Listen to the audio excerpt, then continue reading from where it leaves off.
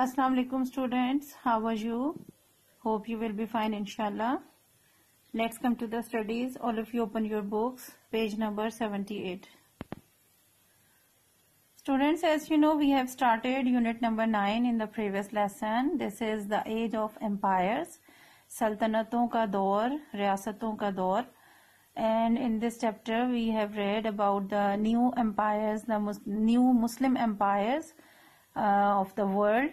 and these are uh, the Ottoman Empire, the uh, Timurids, and the Safavids.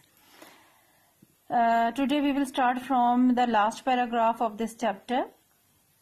Most of these emperors made good use of gunpowder brought by the Mongols from China, and this also helped them from form large empires. जैसे कि हमने previous lesson में पढ़ा कि Mongols के बाद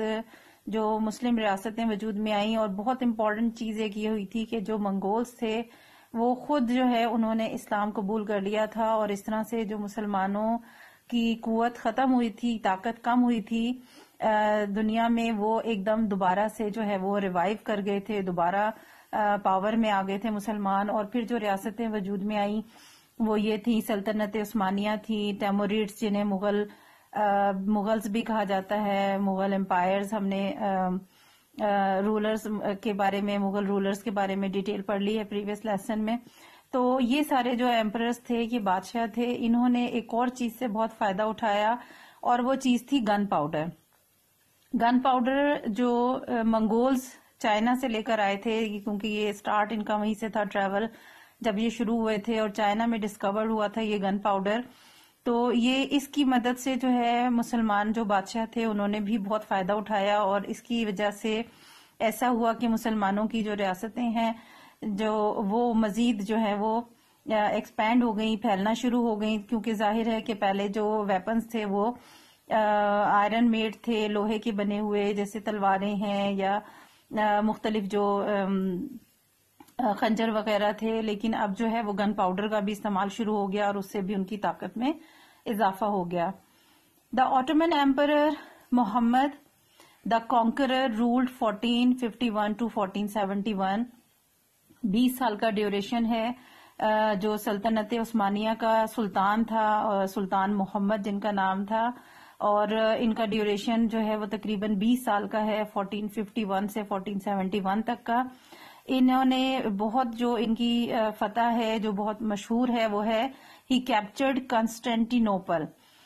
Constantinople जो, जिसको हम कुस्तुनतुनिया कहते हैं an important Christian city of Europe in 1453 ईसाइयों का यूरोप में एक बहुत मशहूर शहर था कुस्तुनतुनिया कॉन्स्टेंटिनोपल 1453 में उन्होंने सुल्तान मोहम्मद ने इसको फतह किया when he was only 21 years old जिस वक्त उनकी उम्र सिर्फ़ 21 साल थी। बहुत यंग एज में इन्होंने क्रिश्चियंस को, और ख़ास तौर पे वो शहर जहाँ ईसाइयों की जो है वो, बहुत पावर थी, बहुत मज़बूत थे वो, और उस शहर को जो है फतह किया था इन्होंने सिर्फ़ 21 साल की उम्र में। Sometimes later the Ottomans conquered Egypt और कुछ ही अरसे बाद जो सल्तनत उस्मानिया हैं, इन्होंने उस्मानी दौरे हुकूमत के जो सुल्तान थे, उन्होंने इजिप्ट को भी फतह कर लिया, मिस्र को। A member of a Abbasid family was still living there ये हम प्रीवियसली पढ़ चुके हैं फॉल ऑफ़ बगदाद में, कि जो अब्बासी दौरे हुकूमत था, उनका जो आखिरी जो रूलर था, वो इजिप्ट में पहुँच गए थे, और वहाँ पर उन्होंने पनाह ले ली थी। लेकिन अब जब इजिप्ट को फतह किया ऑटोमन्स ने तो उन्होंने क्या किया? The Ottomans imprisoned him and declared themselves to be the caliphs of the Muslim world क्योंकि वो अबासी दौर के रूलर थे तो वो अपने आप को खलीफा ही कहलाते थे बेसिकली लेकिन दर हकीकत इजिप्ट में हुकूमत तो, तो उनकी नहीं थी। बहरहाल ये कि वो खलीफा की हैसियत से अभी भी पहचाने जाते थे। लेकिन जब ऑटोमन्स ने इजिप्ट को फतह कर लिया तो वहाँ पर जो ये अब्बासी दौरे हुकूमत के खानदान अब्बास के जो रूलर वहाँ पर जिन्होंने पनाह ली थी, वो वहाँ मौजूद थे। अब उस्मानी जो हुकूमत के रूलर थे, उन्होंने उनको गिरफ़्तार कर लिया और उनको कैद में डाल दिया और फिर खुद को जो ऑटोमन्स थे, जो तुर्क थे, उन्होंने खिलाफत का दावा किया और खुद खलीफा बन गए मुस्लिम दुनिया के। नेक्स्ट टॉपिक है आर्ट एंड आर्किटेक्चर। ये जो सल्तनतें थी मुसलमानों की और ख़ासतौर पे अभी हम जैसे ऑटोमन्स का पढ़ रहे हैं स्पेशली लेकिन इनके साथ साथ जो मुख्तलिफ़ दूसरे इलाकों की, जैसे साउथ एशियन रीजन में जो टेमोरिस्ट टेमोरिट से, यानी मुगल दौर हुकूमत था, मुगल बादशाहों की हुकूमत थी, इसी तरह से फारस में, यानी कि ईरान में जो है वो सफ़ाविट्स थे। तो ये सारा जो इनका, जो एम्परस थे, उनके हवाले से जो आर्ट और आर्किटेक्चर की डिटेल है, थोड़ी सी वो यहाँ दी गई है। Emperors had vast treasures and were usually interested in building magnificent buildings ये बादशाह, क्योंकि बहुत तेज़ी से इलाकों को फतह भी कर रहे थे और जिन जिन इलाकों को फतह कर रहे थे, वहाँ का दौलत, माले माले गनीमत वगैरह भी और मालो इसबाब जो है वो सब इनके पास था। इसके साथ साथ मजीद जो है वो और कई हवालों से तरक्की भी हो रही थी, पैसा कमाया जा रहा था। सो इस तरह से इनके पास बड़े बड़े खजाने मौजूद थे इन बादशाहों के और इन खजानों की मदद से ही ये इनका इंटरेस्ट जो है वो ज़्यादा बड़ी, खूबसूरत और शानदार इमारतें बनाने का इंटरेस्ट इन लोगों में बहुत ज़्यादा था इन बादशाहों में। The Taj Mahal red fort and the Badshahi mosque in South Asia and the Sultan Selim mask in Turkey were all built by built in this age यही दौरे दौर था जिस वक्त ये अजीम शान इमारतें जो आज भी मौजूद हैं और खूबसूरत फन तामीर की वजह से बहुत मशहूर हैं, जैसे ताजमहल है आगरा में, जो शाहजहां ने बनवाया था अपने वाइफ मुमताज़ महल की याद में, और रेड फोर्ट, लाल किला, इसी तरह से बादशाही मॉस्क है जो साउथ एशियन रीजन में ये ये तीनों हैं, यानी कि बादशाही मॉस्क तो लाहौर में, जो पाकिस्तान का हिस्सा है, यहाँ पर है और बहुत ही खूबसूरत फन तामीर का जो है मजहर है, बहुत प्यारी मस्जिद बनाई गई है। And the Sultan Selim Mosque in Turkey जो तुर्की में एक बहुत मशहूर है सुल्तान सलीम जो ऑटोमन एम्पायर के एक सुल्तान थे। उन्होंने बनवाई थी बहुत खूबसूरत इमारत है ये, बहुत खूबसूरत जो मस्जिद है ये। Unlike the earlier rulers the emperor also took great interest in painting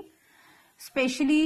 in Persia where miniature painting reached its peak under the legendary painter Behzad. Uh, इन सल्तनतों से पहले इन बादशाहों से पहले जो बादशाह थे uh, वो इतना ज़्यादा इस चीज़ में इंटरेस्ट नहीं लेते थे जो कि खास तौर पे यानी uh, जो पेंटिंग आर्ट से रिलेटेड है वो जो इस दौर में ये बहुत ज़्यादा जो है वो फरोख पाया बहुत डेवलप हुआ ये वाला फन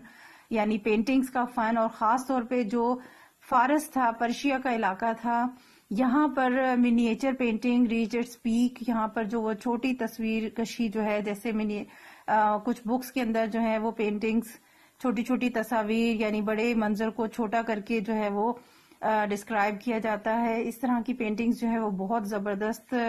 अपनी जो है वो अरूज पे पहुँची, बहुत ज़्यादा पसंद की जाने लगी। और उस जमाने में जो एक बहुत ही ज़बरदस्त शानदार पेंटर था बहजाद वो बहुत फ़ेमस हुआ इस पेंटिंग के हवाले से। सो so, यहाँ तक ये स्पेशली यहाँ यानी कि फन तामीर और फन जो पेंटिंग है तस्वीर कशी है उसको बहुत ज़्यादा फरोख मिला इस दौरे हुकूमत में। It's enough for today remaining part new topic इंशाल्लाह हम अगले लेसन में स्टार्ट करेंगे। जो अभी गन पाउडर से रिलेटेड आपको मैंने टॉपिक पढ़ाया है, इसके लिए एक एडिशनल क्वेश्चन छोटा सा मैं आपको दूँगी। आप यहाँ लिखेंगे गन पाउडर के हवाले से, क्योंकि ये न्यूली डिस्कवर्ड था उस टाइम में तो आप इसके लिए क्वेश्चन लिखेंगे when did the gunpowder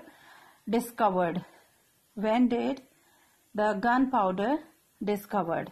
ठीक है? आप इसके लिए ये साइड में छोटा सा नोट लिखा हुआ है gunpowder was discovered in the ninth century by Chinese alchemists. It is a mixture of sulfur, charcoal and potassium nitrate. ठीक है जी छोटा सा नोट है आप यहाँ लिखेंगे और इसमें आप एक लाइन ऐड कर लेंगे इस पैराग्राफ की first most of these emperor made good use of gunpowder brought by the Mongols from China ठीक है ये आपका छोटा सा शॉर्ट क्वेश्चन है, आप नोटबुक में लिखें और याद करें। अल्लाह हाफिज।